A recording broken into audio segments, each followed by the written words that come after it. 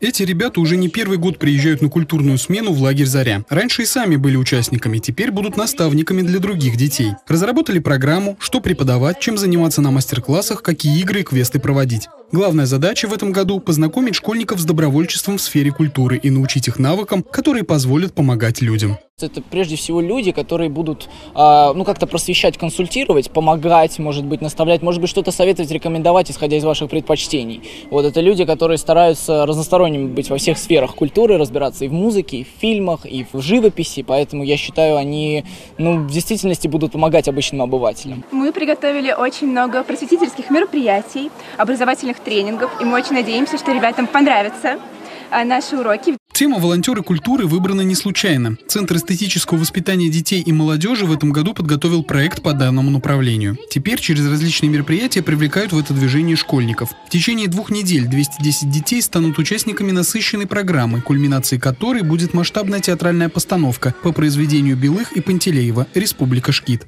Каждый отряд будет готовить свою сцену вместе с наставниками, и в конце это все выльется в очень такой грандиозный большой спектакль.